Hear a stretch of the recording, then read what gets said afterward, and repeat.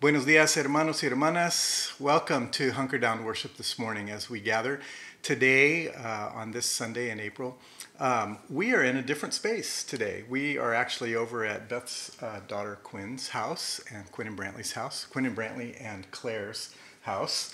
Uh, and so uh, we're coming to you from a little bit of a different spot today than we normally do, but uh, queremos dar una bienvenida a todos los que se congregan con nosotros para celebrar el Día del Señor uh, uh, en este domingo. Um, a couple of quick things. First of all, huge shout out to everybody who helped with the vaccine clinic last Sunday. Tons of volunteers from our congregation, from House of Neighborly Service, from uh, other communities, uh, other congregations, faith communities. Uh, we had a Hindu community that came out to help us, and a Baptist community that came out to help us. We managed to get 347 one dose vaccines into different people's arms. And I just feel like uh, I feel so proud, so proud of our church for stepping up and pulling that off uh, in such a short, short time frame. So, bendiciones y gratitud inmensa a todos los que ayudaron uh, con esa clínica la semana pasada. Um, want to let you all know that uh, Beth and I are actually going to take some vacation time. Uh, You're be- shocked, I know. I know. Uh, we haven't taken any really this whole year. And so uh, we're going to take some vacation time beginning the Monday after next Sunday. So that's the 26th. Sixth. 26th. And uh, we'll be back in the saddle on the 10th of May.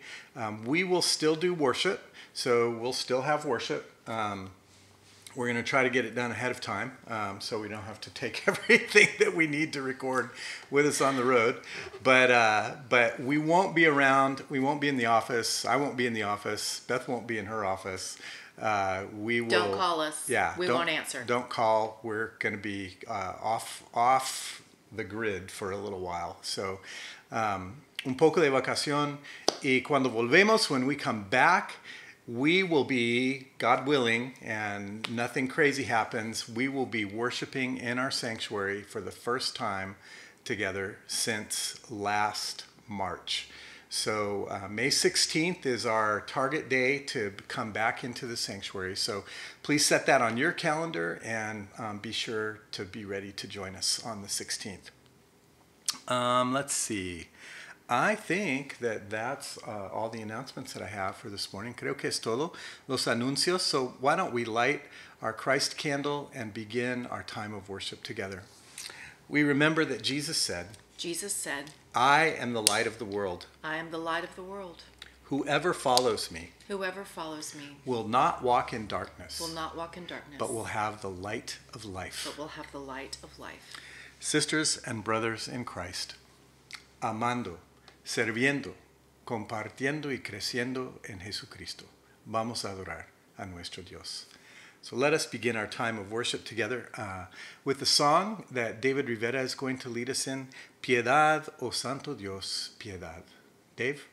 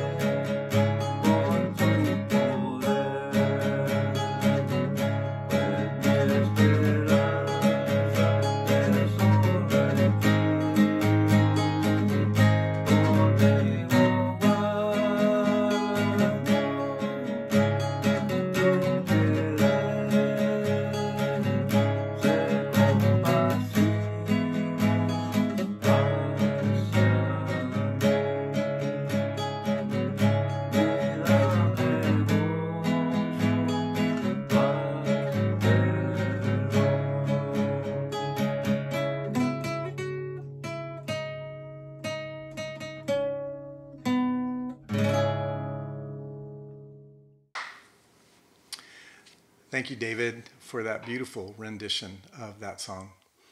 Um, when we come to worship, cuando venimos a adorar a Dios, venimos a entregar nuestra persona entera. To worship is to give our whole selves to God, to place our whole selves at God's disposition, to turn our entire self over to the will of God. And we begin that process by emptying our own hearts, by turning over the things that we carry that occupy our mind and our energy and our concern. So let us turn to God in prayer and offer the prayers of our hearts. Óyenos, mi Dios.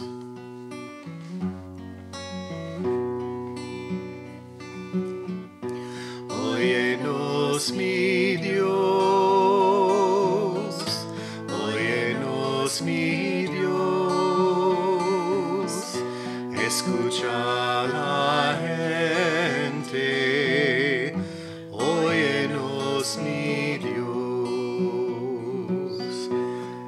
Señor, venimos hoy deseando entregar nuestras vidas a tu persona, a tu reino, al proyecto de vida que tú tienes en el mundo. We bring to you, God, then the things that, that burden us, the things that, that weigh us down this day, and the things for which we are grateful and for which we thank you. Lord, we are so thankful for the successful vaccine clinic this past Sunday and for all of the 347 people who were able to get vaccinated for the chance to engage our community, to tell people that we love them in the name of Jesus Christ through that action.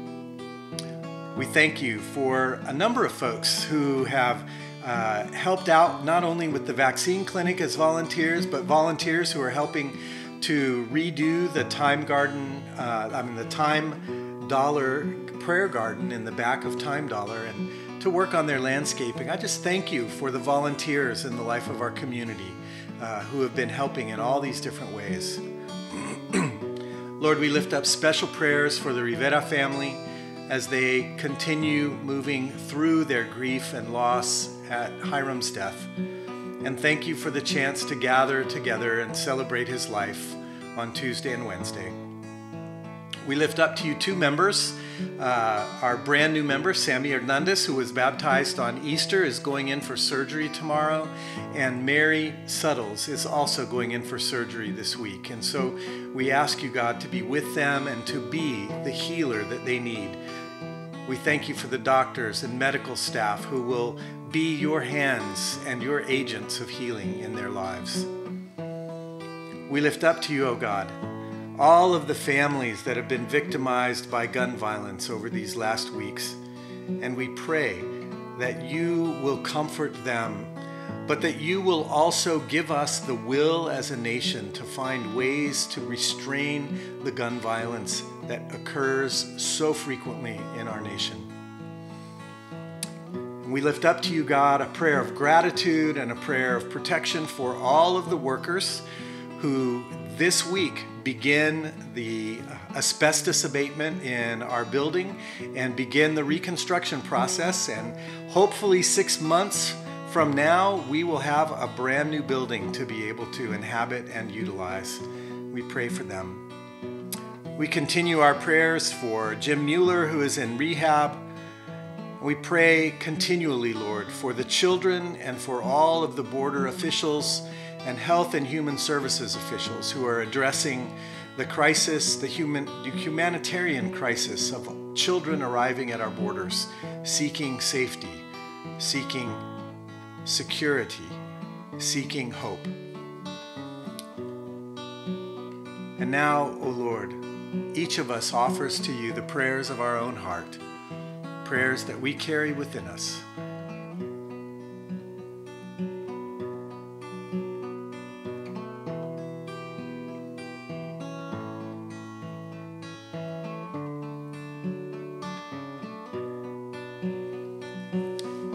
And God, the prayers that we don't know how to pray, we lift up to you in the words that Jesus has shared with us.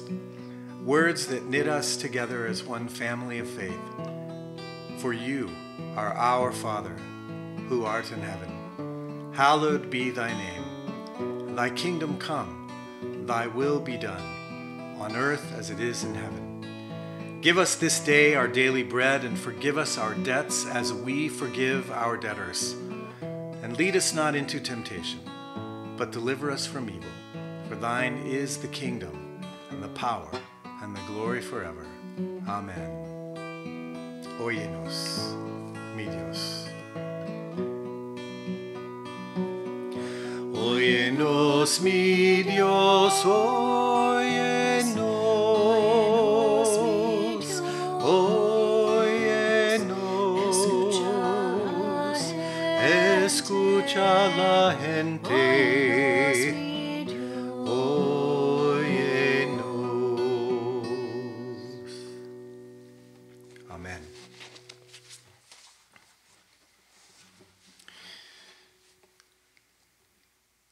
All of us have experienced a time when some mistake we have made has paralyzed us in shame or guilt or regret. All of us have experienced moments when the big blunder of our lives just trips us up so hard that we have trouble getting back on our feet again.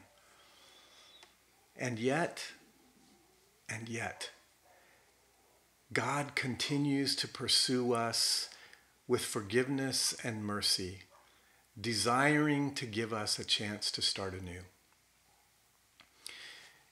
Until we understand that that forgiveness is always there, we will unfortunately allow ourselves to wallow in a place where we can't forgive ourselves or others. So let us make a practice, not just on Sunday morning, but as a way of life, of turning to God when we have made mistakes and admitting the truth so that we can be washed and start anew. Let us turn to God in a spirit of confession.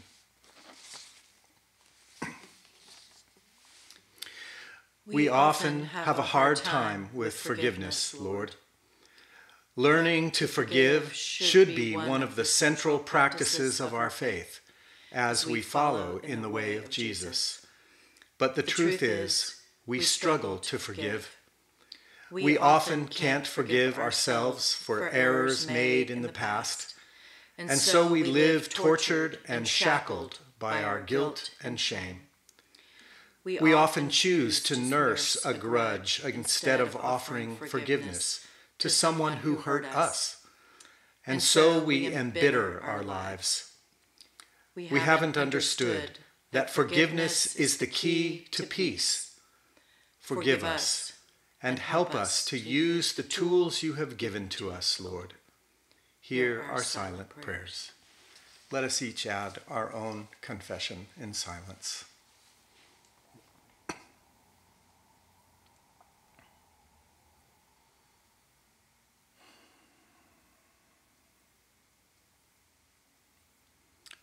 Amen.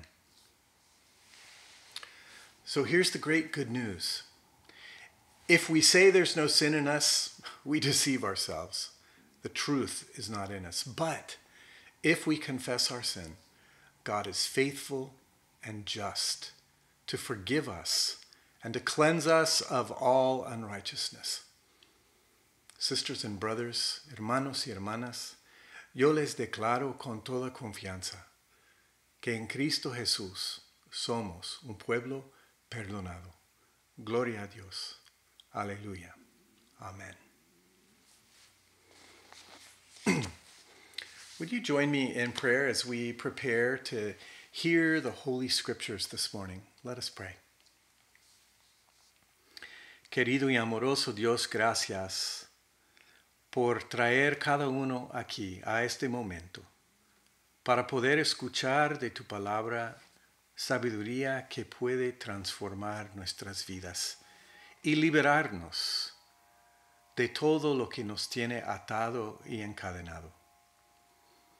God, we pray that as your word is read and as your word is proclaimed, that we may hear what we need to hear to be set free, that we may live in the freedom of the children of God, the freedom for which we were created, the freedom for which Christ gave his life. For it is in his name we pray. Amen. So, this being the second Sunday after Easter, I'm going to read one of the uh, gospel accounts of the appearance of Jesus to the disciples after his resurrection. And each of the gospels has a very different take on what happened after the resurrection. Each of the gospels has a different perspective on what uh, happened, on how and where Jesus uh, visited the disciples. So, for example, in Mark's gospel, at the end of the resurrection, the women run out of the, of the empty tomb scared to death and afraid to say anything to anyone about what they've seen. At the end of Matthew's gospel, the disciples are still in Galilee, uh, excuse me, are back in Galilee upon a mountain. Uh, there's not a lot of big mountains in Galilee, but upon a hill. And there upon the hill, Jesus gives them the Great Commission to go and make disciples of all nations, teaching them to do all I have commanded you, and lo, I will be with you always till the close of the age. In Luke's gospel, we find Jesus not returning to Galilee with the disciples at all, but staying in the vicinity of Jerusalem in Bethany. And there at Bethany, he ascends to heaven, having given them his final instructions. John's gospel, which is the gospel we'll be reading today, John's gospel shares a couple of different stories of Jesus coming to the disciples when they're hiding, scared in a locked room. And he speaks to them peace. But Thomas is not present and doubts what the other disciples have said. And so Thomas gets a special visitation a few days later where Jesus allows him to place his hands in his wounds and know that it is indeed the Lord who has risen. And then comes this account. After the disciples have journeyed all the way back to Galilee, a long walk because there's not any other way to get there except walking. And by the time they get to Galilee, the disciples are unsure of what comes next. And it is there, as they decide to go fishing, that Jesus meets them again. Listen to this reading as we read from John chapter 21, verses 1 through 19. Afterward, Jesus appeared again to his disciples by the Sea of Galilee. It happened this way Simon Peter, Thomas, Nathanael from Cana in Galilee, the sons of Zebedee, which would be James and John, and two other disciples were together. I'm going out to fish, Simon Peter declared to them. And they said, We'll go with you. So they went out, got in the boat, but that night they caught nothing. Early in the morning, Jesus stood upon the shore, but the disciples did not realize who it was. He called out to them, Friends, haven't you any fish? No, they answered. Then he said, Throw your net on the right side of the boat, and you will find some. And when they did, they were unable to haul in the net because there were so many fish. Then the disciple whom Jesus loved said to Peter, it is the Lord. And as soon as Simon Peter heard him say, It is the Lord, he wrapped his outer garment around him, for he had taken it off, and he jumped into the water. I think I would have done that the other way.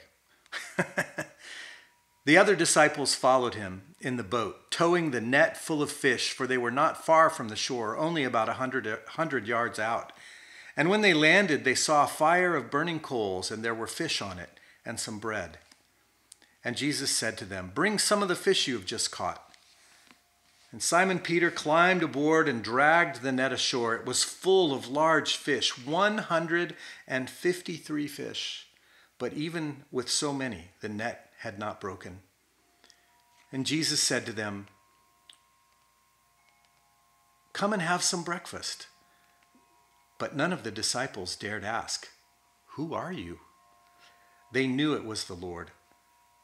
Jesus came and took the bread and gave it to them and did the same with the fish. Now this was the third time he had appeared to his disciples after he raised, was raised from the dead. And after they had finished eating, Jesus said to Simon Peter, Simon, son of John, do you truly love me more than these? Yes, Lord, he said, you know that I love you. And Jesus said, Feed my lambs. Again, Jesus said, Simon, son of John, do you truly love me? And he answered, Yes, Lord, you know that I love you. Jesus said, Take care of my sheep. And a third time he said to him, Simon, son of John, do you love me? Peter was hurt because Jesus asked him the third time, Do you love me? He said, Lord, you know all things. You know that I love you. Then Jesus said, Feed my sheep. I tell you the truth. When you were younger, you dressed yourself and went where you wanted, but when you are old, you will stretch out your hands, and someone else will dress you and lead you where you do not want to go. Jesus said this to indicate the kind of death by which Peter would glorify God. And then he said to him, Follow me. Y ahora en español. Después de esto, Jesús se apareció de nuevo a sus discípulos junto al lago de Galilea. Sucedió de esta manera. Estaban juntos Simón Pedro, Tomás, al que apodaban el gemelo, Natanael, el de Caná de Galilea, los hijos de Zebedeo, Santiago y Juan, y otros dos discípulos. Yo me voy a pescar, declaró Simón Pedro. Nos vamos contigo, contestaron ellos. Salieron pues de ahí y se embarcaron para esa, pero, pero esa noche no pescaron nada. Al despuntar el alba, Jesús se hizo presente en la orilla, pero los discípulos no se dieron cuenta de que era Él. Muchachos, amigos, ¿no tienen algo de comer? les preguntó Jesús. No, respondieron ellos. Tiran su red a la derecha de la barca y pescarán algo. Así lo hicieron, y era tal la cantidad de pescados que ya no podían sacar la red. Es el Señor, dijo, dijo a Pedro el discípulo a quien Jesús amaba. Tan pronto como Simón Pedro le oyó decir, es el Señor, se puso la ropa, pues estaba semidesnudo, y se tiró al agua. Los otros discípulos lo siguieron en la barca, arrastrando la red llena de pescados, pues estaban a, escaso, a escasos cien metros de la orilla. Al desembarcar, vieron unas brasas con un pescado encima y un pan. Traigan alguno de los pescados que acaban de sacar, les dijo Jesús. Y Simón Pedro subió a bordo y arrastró hasta la orilla la red, la cual estaba llena de pescados de buen tamaño. Eran ciento cincuenta y tres, pero a pesar de ser tantos, la red no se rompió. Vengan a desayunar, les dijo Jesús. Ninguno de los discípulos se atrevía a preguntarle, ¿quién eres tú? Porque todos sabían que era el Señor. Jesús se acercó, tomó el pan y se lo dio a ellos, e hizo lo mismo con el pescado. Esta fue la tercera vez que Jesús se apareció a sus discípulos después de haber resucitado. Y cuando terminaron de desayunar, Jesús le preguntó a Simón Pedro, Simón, hijo de Juan, ¿me amas más que estos? Sí, Señor, tú sabes que te quiero, contestó Pedro. Apacienta mis corderos, le dijo Jesús. y volvió a preguntarle, Simón, hijo de Juan, ¿me amas? Sí, Señor, tú sabes que te quiero. Cuida mis ovejas. Por tercera vez, Jesús le preguntó, Simón, hijo de Juan, ¿me quieres? A Pedro le dolió que por tercera vez le hubiera preguntado, ¿me quieres? Así que le dijo, Señor, tú lo sabes todo y tú sabes que te quiero. Apacienta mis ovejas, le dijo Jesús. De veras te aseguro que cuando eras más joven te vestías tú mismo e ibas donde querías, pero cuando seas viejo extenderás las manos y otro te vestirá y te llevará a donde no quieres ir. Esto dijo Jesús para dar a entender la clase de muerte con que Pedro glorificaría a Dios. Después de eso, añadió Jesús, sígame. Hermanos y hermanas, esta es la palabra de Dios. Te alabamos, Señor.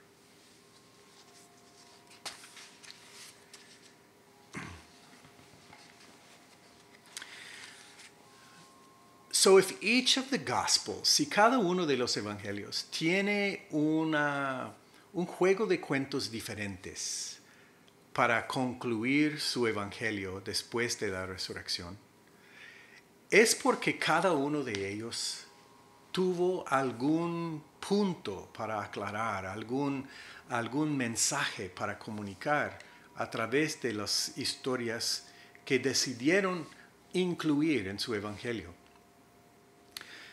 So, if each of these gospel writers did something a little different, they must have done it for a reason. They must have done it for some purpose, not just because. And if I think about John's gospel and I think about why he would take the disciples all the way back to Galilee and experience this encounter with Jesus on the beach where they first encountered him many, many months before. And where Jesus would engage Peter in a very peculiar but healing ritual. I think it's because John wants to leave us with the message that we can always begin again with God. We can always begin again with God. I love that the disciples are just hanging out on the beach in this particular text.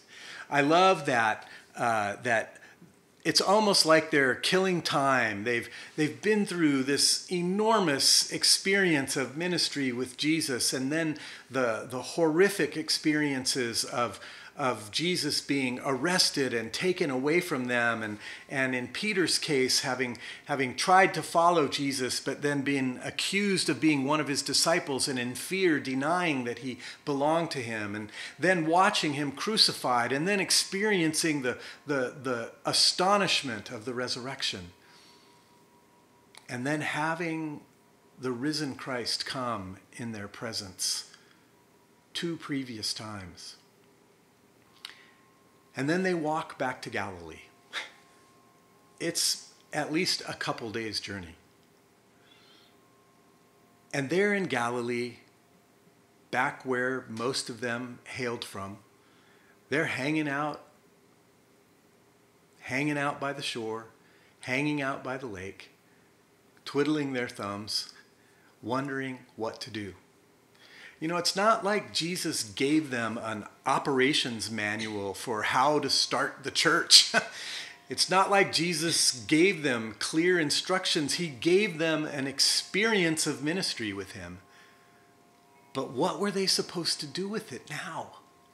There was no guidebook, there was no how to. And so they fumbled. They fumbled in uncertainty. And Peter, what does he want to do? Let's go fishing. I know how to do that. I may not know how to do anything else, but I do know how to fish. Well, at least he thought he did. For they fished all night and they came home empty handed. Nothing in the boat, nothing at all. And then they see Jesus upon the shore. They're not sure that it's him, then John, the writer of the gospel, the disciple who Jesus loved, says to Peter, It's the Lord. And Peter instantly knows that he's right and jumps out of the boat and runs to greet him. Now, I don't know about you, but there have been times in my life when I have been through a what could easily be considered a, a life-changing experience, an experience, uh, an exposure to something that I never knew I would have the opportunity to see or to or to experience, and and I come home from that and and I don't know. I know that it's affected me, but I don't know what I'm supposed to do with it. I don't know how I am supposed to embody it. Uh, I think for a lot of folks, I think para muchos de nosotros, cuando tenemos una experiencia muy fuerte, una experiencia muy profunda, sabemos que tiene un impacto, que tuvo un impacto, pero a veces luchamos para discernir y descubrir cómo vamos a poner en, en marcha alguna respuesta, algún cambio en nuestra vida a base de lo que hemos vivido. I think, I think the disciples were probably in that kind of place. The uncertainty of what do we do with this? This was incredible. This was an unimaginable experience. It has moved us beyond anything we ever would have experienced had we stayed here in Galilee. But in the end, that's where they find themselves again, back in Galilee, by the shore of the sea where Jesus first met many of them and invited them to follow him. I don't think it's an accident that John brings them all the way back to the beginning. Because at least one of those disciples, Peter, is paralyzed. Paralyzed by his failure. Paralyzed by his denial of the one whom he loved. Peter's three refusals to admit that he was one of Jesus' disciples there in the courts of the Sanhedrin. And then the crowing of the cock, which Jesus predicted would happen, broke him, broke his pride, his assurance, his clarity, his passion, his power. And Peter found himself unsure of himself, unsure of his commitment, unsure of his next steps. And I think that is exactly why John brings the story back to the beginning, brings the story back to the place where they started. You know, a lot of us have experiences in life that we're not proud of. Um, our son Bobby was interviewing me just this week, and he uh, asked a number of just different questions about my personal life and experience. And one of the questions that he asked me and the other people he was interviewing was if you could get one do over again, what would it be? Many of us have something that we really wish we could have done differently and would have done differently had we gone back, had we been given the opportunity to go back. Muchos tenemos ese deseo de, de vivir diferente a algún evento en nuestra vida, o alguna decisión, alguna acción que cometimos. Peter clearly lived with that wish that he had been able to man up, that he had been able to, to be bold enough to claim his allegiance to Jesus, but he hadn't. And the burden and the guilt and the shame of that failure he carried deeply within him. And sometimes when we carry that kind of guilt and that kind of burden, in our lives and can't find the way clear to forgive ourselves, it can paint the rest of our lives with a dark tint. It can paint the rest of our, our sense of ourself with this, this brush of failure.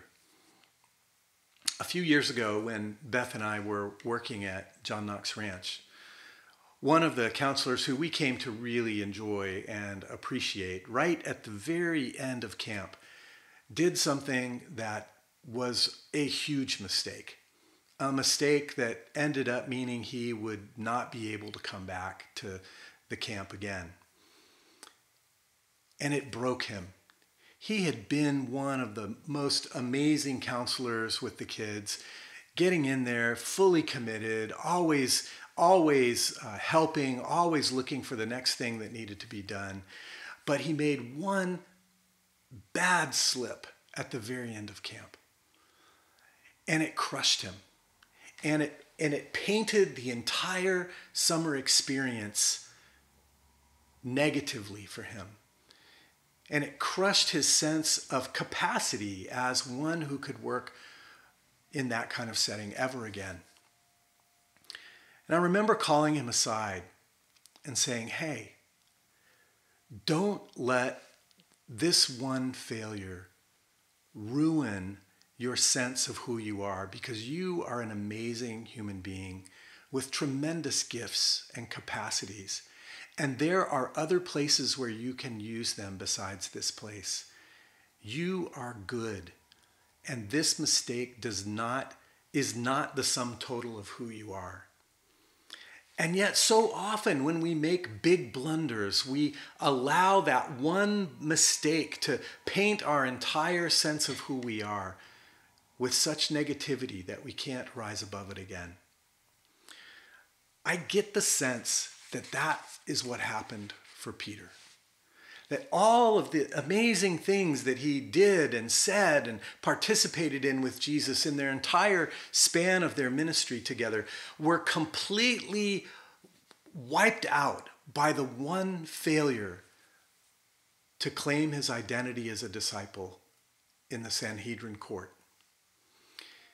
Y porque no pudo superar ni perdonarse por lo que sucedió, no pudo imaginar la posibilidad de trabajar por Dios en el futuro. Era un fracaso en su propia mente. But that, that is where the grace comes in in this story. The grace that reminds us that God will not let us go. God will pursue us until we can experience a love and a forgiveness that is bigger than our guilt and our shame and our regret. Jesus shows up on the beach and this carpenter teaches these fishermen how to fish again. And they pull in 153. Why 153 fish? We don't know. Nobody seems to know. There have been all kinds of conjectures and comments about why there was 153 fish, but the truth is, nobody really knows why. Jesus extends to them the grace of one more meal, reminiscent of the meal that they shared when thousands were fed with bread and fish. And Jesus enjoys one more breakfast with these disciples around the shores of Galilee. But the real work, the real reason that he came back to where it all began, was to help Peter recover a sense of his capacity as a shepherd to the flock that Jesus was now entrusting to him and to the others. He calls Peter aside y le pregunta a Peter, Pedro, ¿me amas? ¿Me amas aún más que estos? Do you love me more than these? And Jesus is using in the Greek of the text the word agape for love. The Greeks had three different words for love agape, phileo, and eros. Agape is the self sacrificial love, the love that is willing to lay down its life. Jesus asked Peter, Do you love me with that kind of love? And Peter cannot say yes to that. But he can say, Lord, I love you, phileo. I love you as a brother. But I can't claim that I would lay down my life because I failed to do it. I was afraid for my life, and so I denied you. Jesus says to him again, Peter, do you love me? Me amas, Pedro. And he says, Lord, you know that I love you as a brother. And one final time, Jesus says to him, Peter, do you love me as a brother? And Peter says, Yes, Lord, I love you as a brother. In that very conversation, Jesus tries to help Peter acknowledge that he does have the capacity to live that sacrificial love. He tries to help him pull that out of himself. But Peter can't.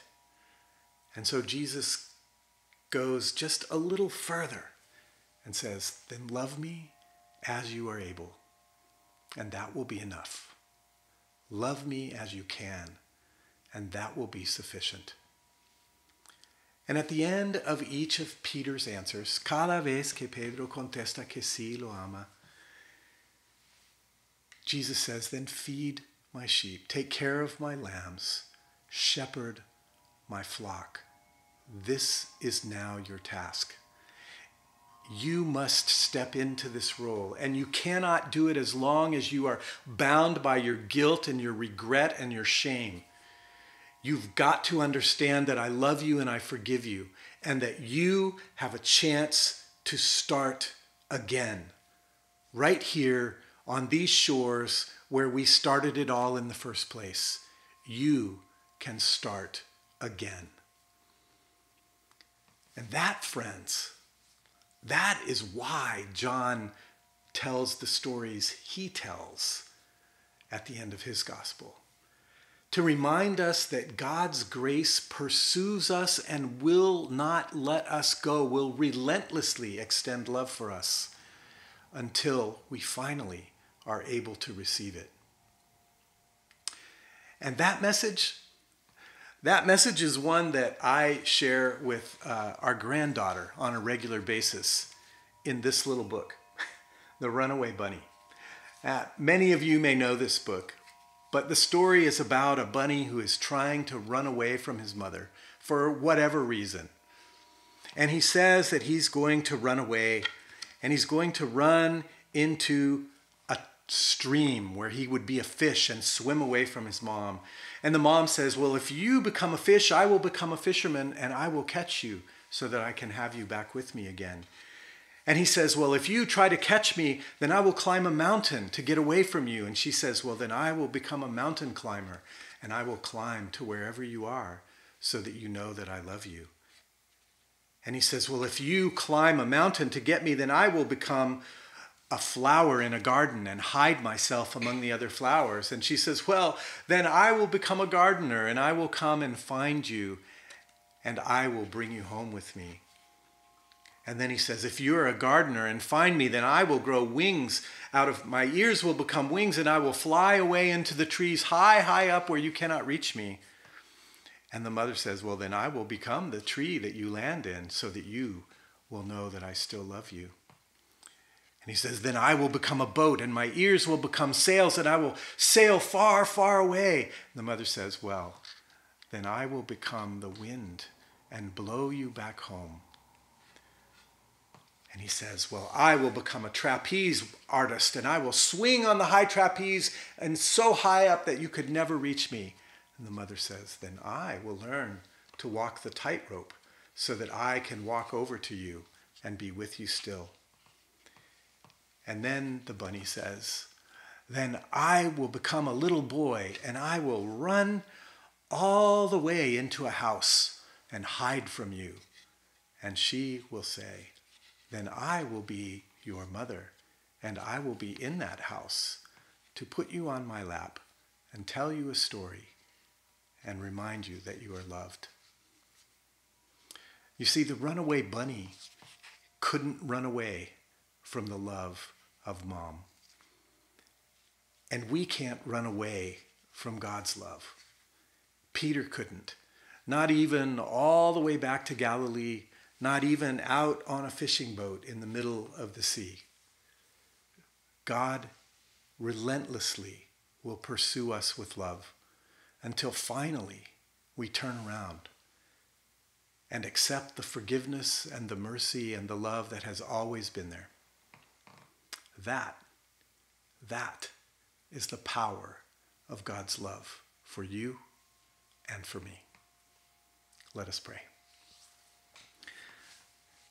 Querido, querido y amoroso Dios, por un amor que siempre nos persigue, que no nos dejará, que siempre buscará la manera y la forma en alcanzarnos para que pudiéramos entender finalmente que somos amados, que somos perdonados, que somos hijos e hijas queridos y queridas. Ayúdanos, Señor, a no permitir en nuestra vida que las equivocaciones del pasado nos atan y nos encadenan al pasado, sino ayúdanos a descubrir la libertad que viene por el perdón y por el amor que nos persigue. Por Cristo te lo pedimos. Amén.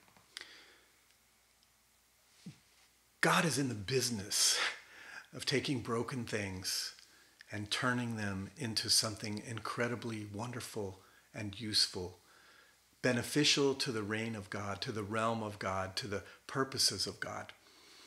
And that is a reason to be grateful that our brokenness will never be enough to keep God from being able to use us.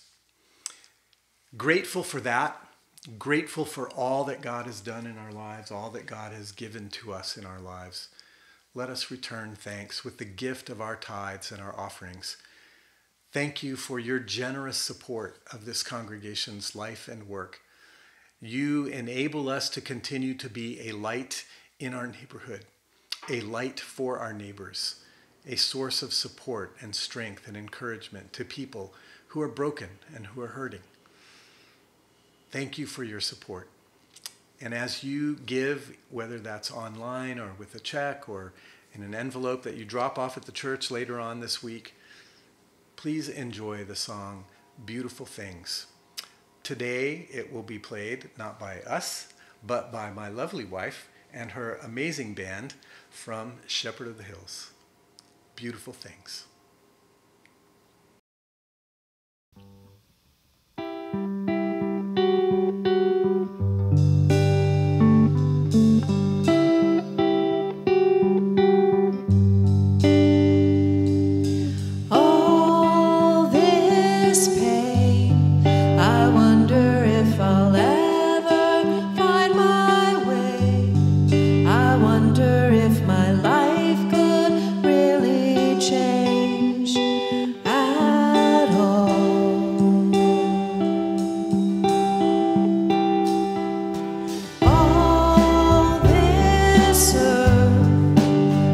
All that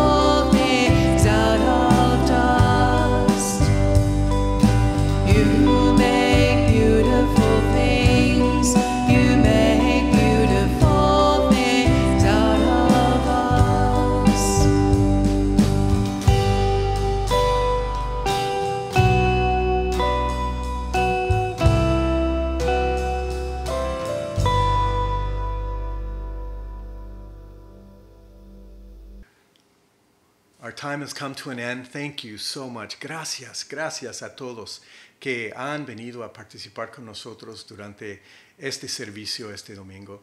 Queremos concluir con una oración, so let us close our time together with a word of prayer.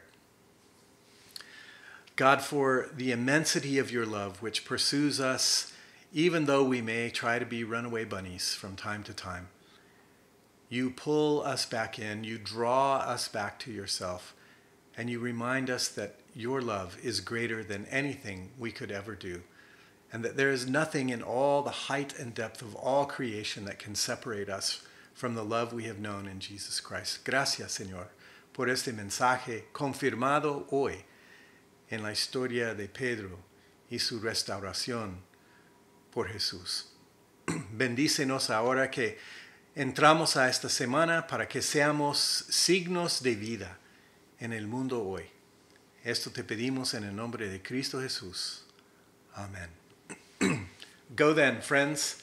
May the grace of Jesus and the love of God and the fellowship of their Holy Spirit be over you, upon you, within you, and through you for the world today, tomorrow, and always. Amen. Let's sing together Dios el amor que me persigue.